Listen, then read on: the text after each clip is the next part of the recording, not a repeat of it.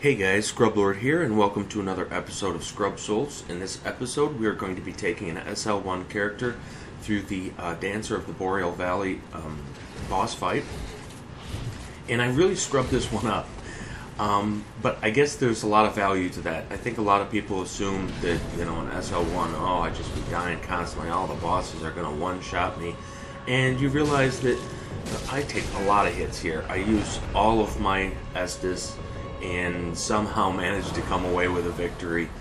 Um, she doesn't really have a lot of shots that will one-shot you, so you'll be kind of surprised at how much easier this fight is than you would assume. That's not to say, of course, that this fight wasn't difficult for me. I died far more than I did on any of the bosses up to this point. I have killed through Wolnir. I have not gone into Irithyll yet. Um, and the reason I did this is I'm coming back in order to try to get the Knight's Ring so that I can have a 100% block shield going into some of the more difficult parts of the game in Irithyll. So by taking out the Dancer, I'll be able to get that Knight's Ring.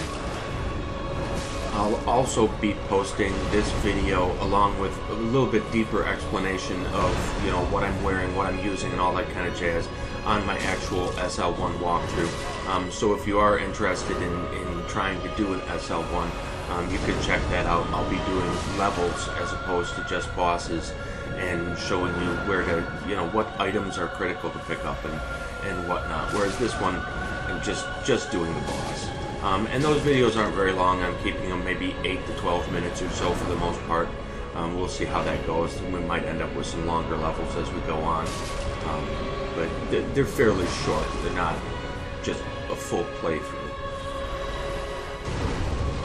So as you can see, she's really chewing up my Estus, and I make that mistake twice, where I try to punish that, which you can in the first phase, but in the second phase, when she does that jump, she'll do a spin at the end, so you don't want to try to punish that. But she just keeps on just nicking me, and I, I keep on surviving.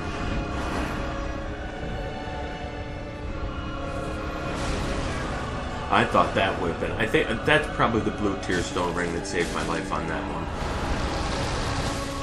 And that's it. Dance from the Boreal Valley with an SL1 character.